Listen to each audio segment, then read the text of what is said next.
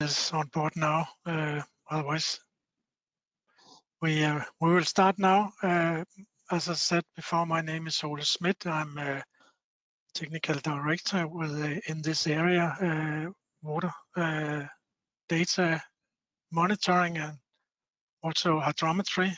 And I'm from WSP in Denmark, situated in Copenhagen. I'll talk about water data management in a climate change perspective. And uh, I put in an agenda. I just move the screen to the agenda. And uh, first bullet uh, point is that uh, I will talk about the, of course, water data management and data structure and so on. And uh, a little about the background, our background in WSP Denmark. Uh, and then I will go through the water data portal, uh, what you can find there and how it works. And I have put in two case studies also showing how easy accessibility and trustful data can improve decision tools. And there are some key takeaways. And then uh, we have some uh, question and answers. And uh, please, uh, you can put in the question and answers and uh, then uh, then we will will uh, take them in the end of it. I will take the first uh, 20 minutes with, with this presentation. So first of all, uh, what we see around the world, and of course also in Denmark, is uh, we are facing more frequent situation with uh, too much or too little water. This is situation from from a Danish city called Holstebro, where they within the last five years have uh, no, sorry, 20 years have, has had five uh, situations with with floods, and we can also see more situations with uh, very low uh, water level in the summer and also warmer water, which in this case uh, a fish, uh, a fish dead and so on. So, so we're facing those things, and then, and uh, if we're looking at uh, the development of, of uh, uh precipitation, you can see here on this uh, uh, curve, within the last 150 years, we have had 15% more precipitation annually. And we can look at that because we have the data back in time. So if we shall look into the future, this could be 50 years, 100 years, whatever. We have to learn from the past, uh, and uh, otherwise we cannot not design the future.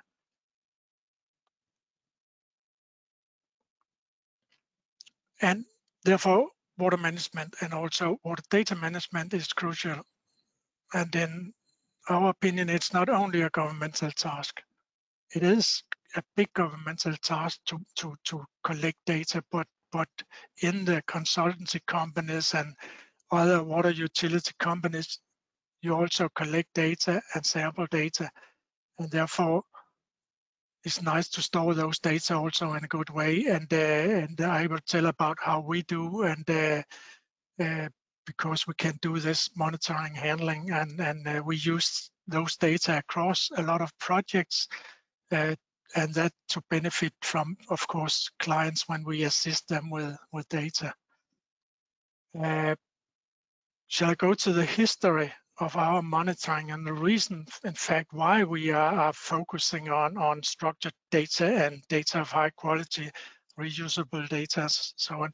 That's because we have been within this business for more than 100 years now, starting uh, collecting data and, and, and storing data and you, you can see in the pictures, we are following the trend of uh, new tools for, for making discharge measurements, new tools for making with drones uh, water level uh, measurements in rivers and so on.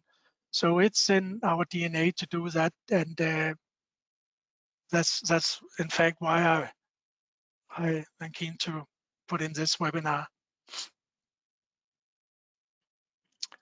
Just to give you an idea about Denmark, those of you who are attending here who is not from Denmark uh, and maybe don't know it, we are a small country. Uh, you cannot see it on the on the map, uh, so small are the country and global. size, but uh, for the 3,000 square kilometers, as you can see, we have a very low uh, uh, altitude change and topography, flat country, but we have a high land use degree. Farmland is very high in Denmark. Cities and farmland together is more close to three fourth of, of the total, and therefore they are a very, very huge uh, uh, impact and uh, uh, need for data because we are talking about a lot of uh, water course acts and so on, uh, environmental acts, and, and, and which state that that some want the water to, to be conveyed and some want the water for nature and people and so on. So so that's that's the reason why we we have a, a dense network of monitoring stations. If we look at some examples for monitoring, I have put them in here and uh, what we in WSP are, are handling could be a marine station where we are collecting uh, sea level.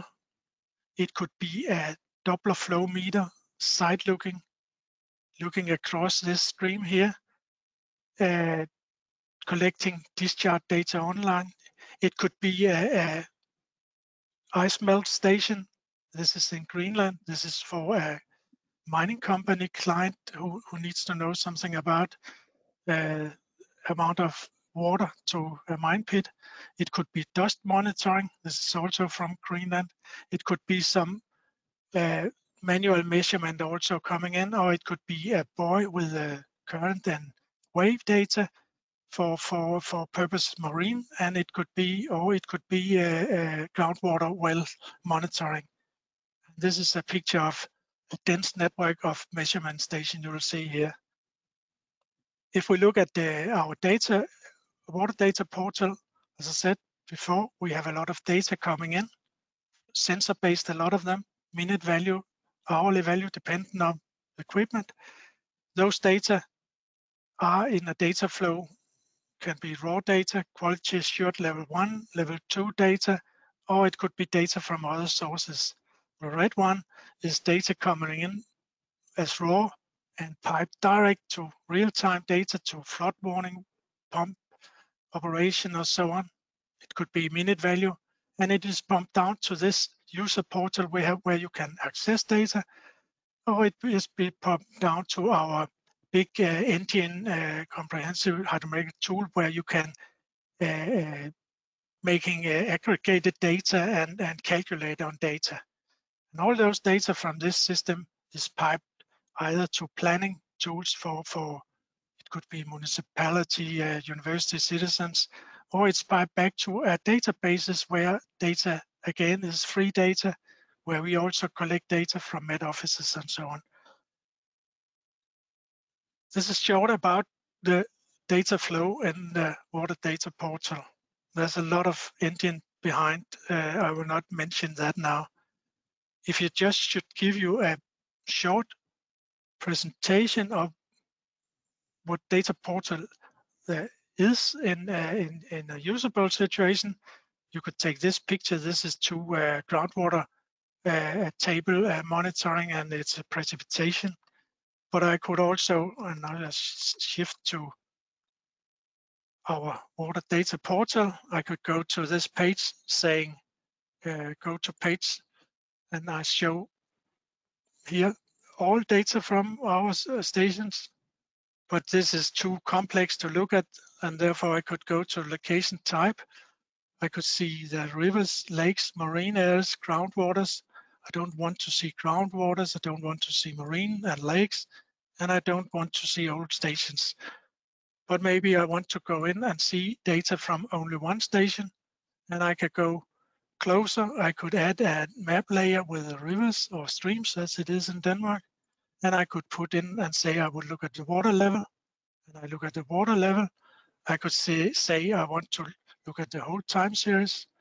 I have now 10 years with high resolution data. You can see some noise here and I could put quality assurance on and see, ah, this is raw data, this is quality assured data.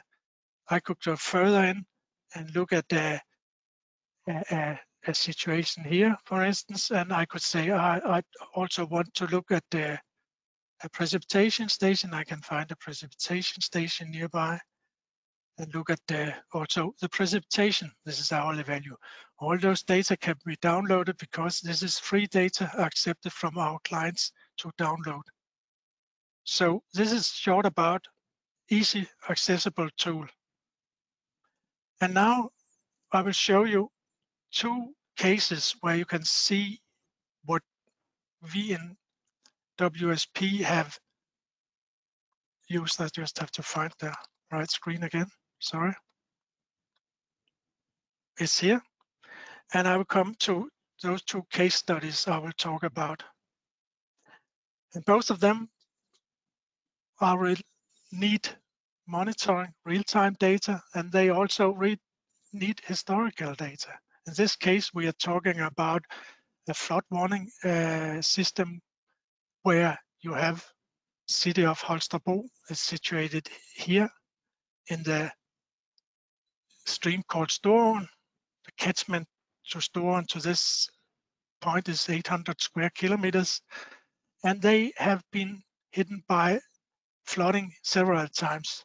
And you can see it on the picture down here.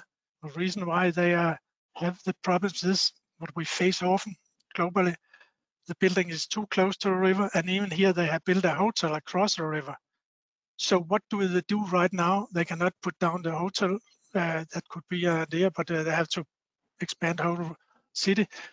But what, what we have done with the Desire is we put in real-time data and then we can make some prognosis so they can at least uh, warn people what to do or the emergency services.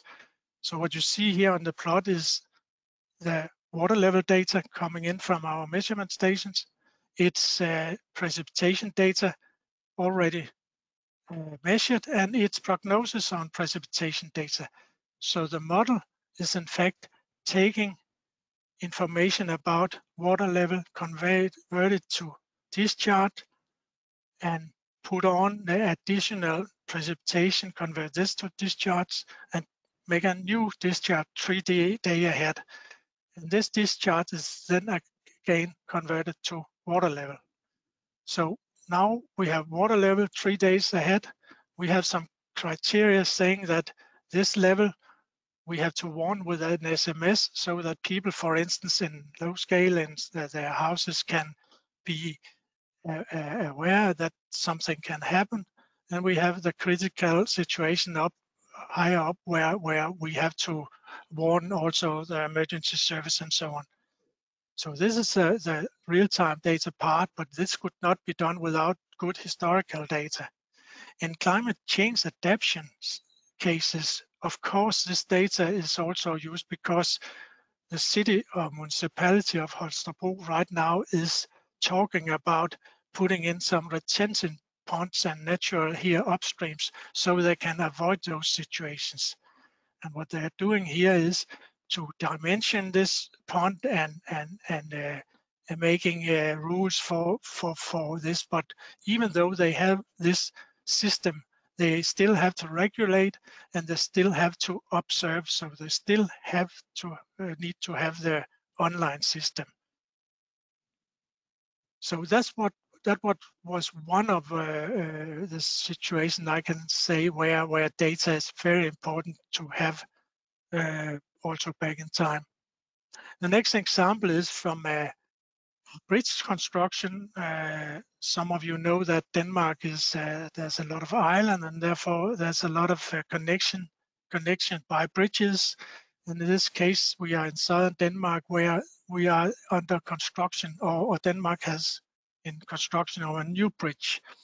And when they construct a new bridge, they have to, to find the precise timing of putting out those big plinths, which is the, the, the concrete constructions. This is precision work, which means that you need to know how is the current, how is the waves, and how is the wind, and so on.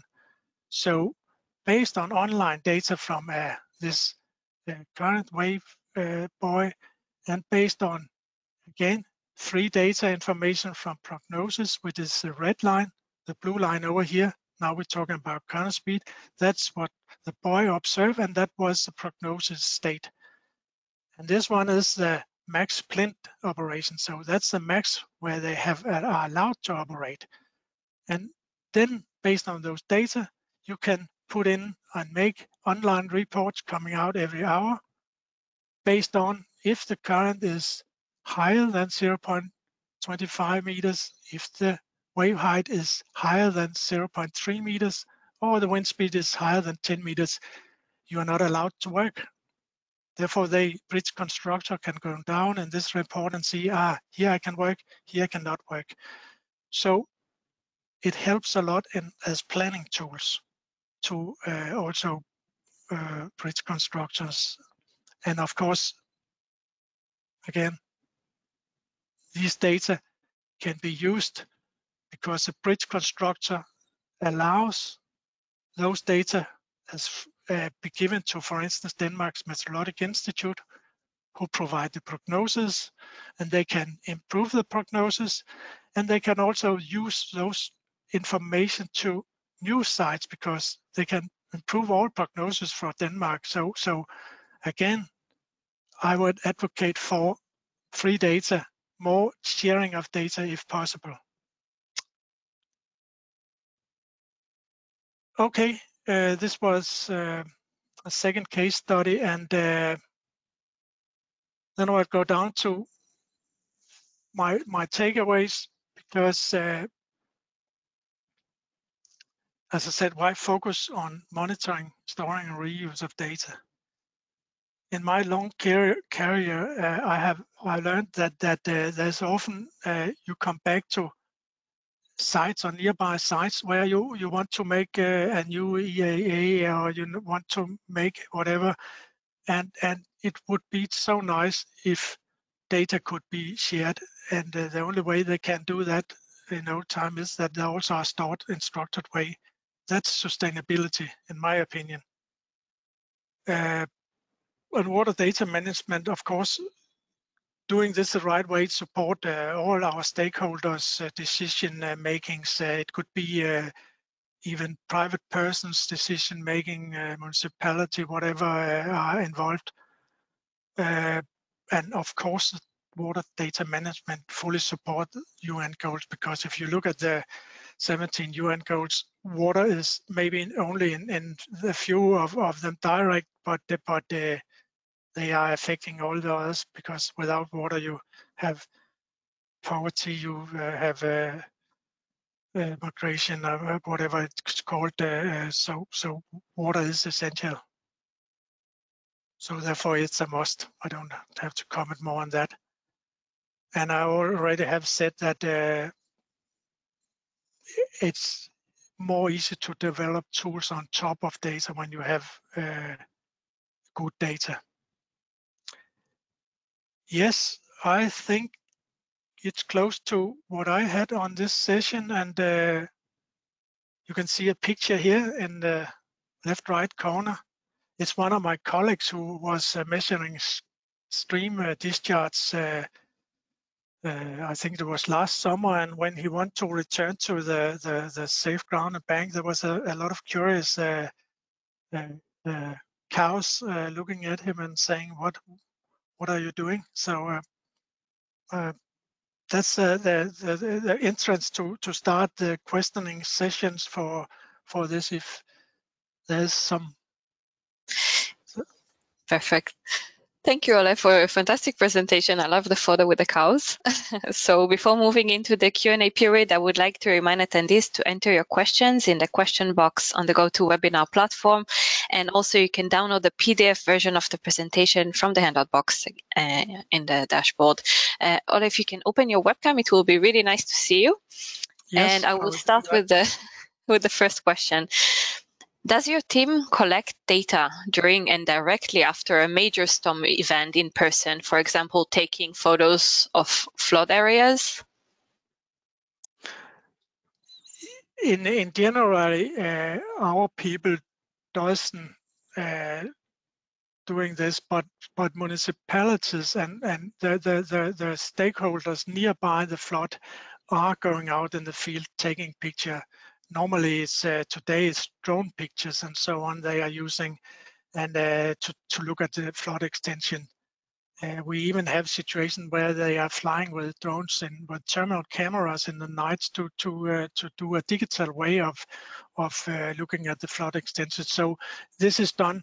This is not done by by us directly uh, uh, in, in WSP, but but in some cases. But yes.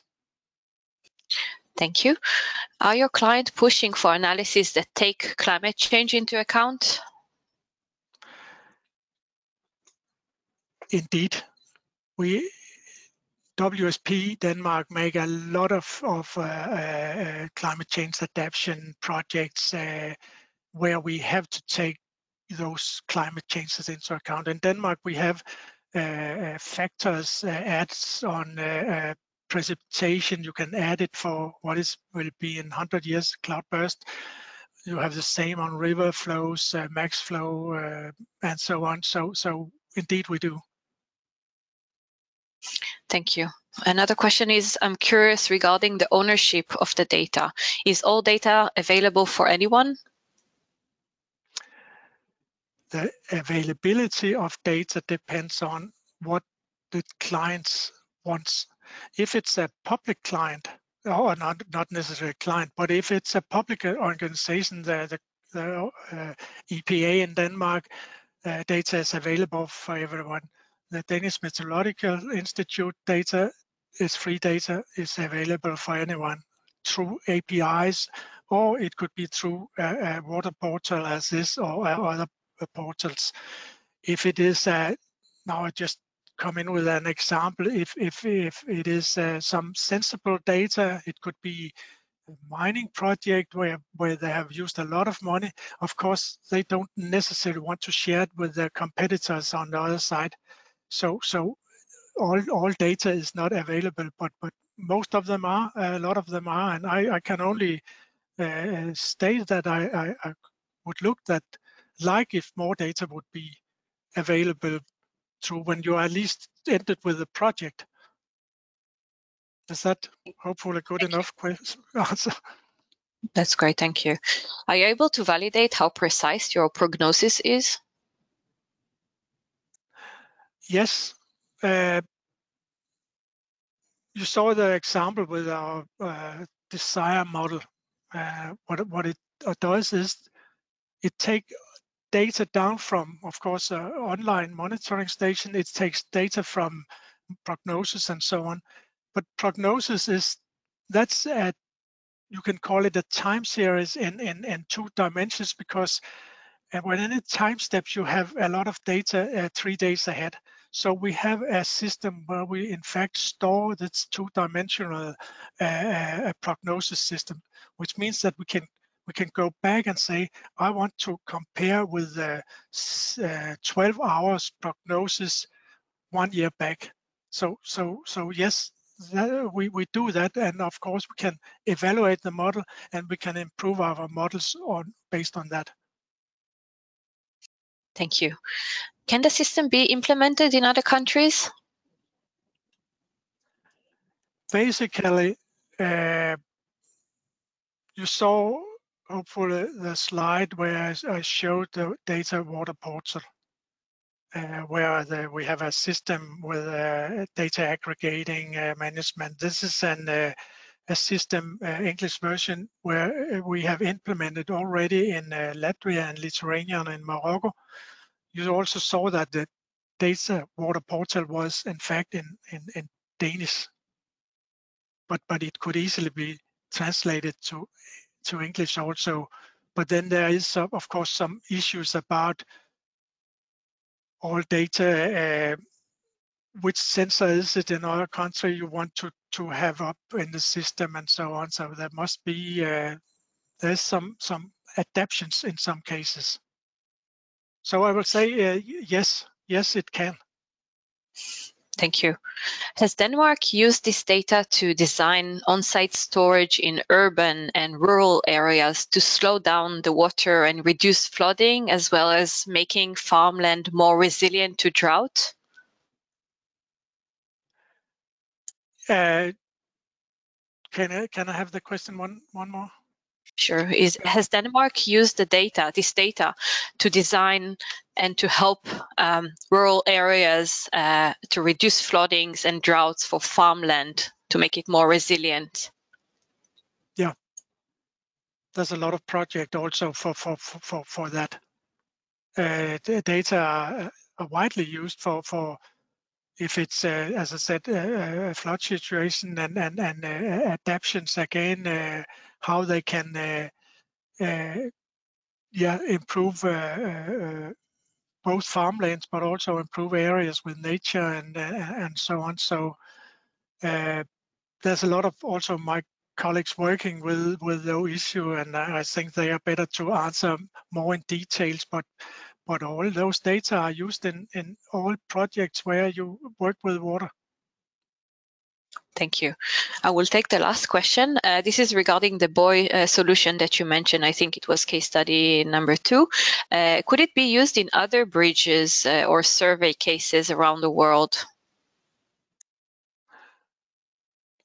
The the the buoy is uh, if you look at uh, uh, for buoys, uh, there's a lot of manufacturers of buoys. This is a Danish produced buoy, but it could also be a, a UK or US or whatever Norwegian. Uh, there's there's a lot of uh, manufacturers of those buoys, and and uh, and the only thing is that you have to make sure that the buoy can send data either by satellite or GPS, depending on how far offshore it is.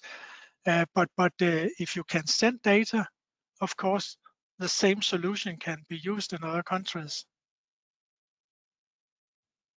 Fantastic. Thank you. Uh, so we're at the end of our webinar uh, session. Thank you for all your questions and uh, please feel free to follow up directly with Ole via the contact details shown on the screen.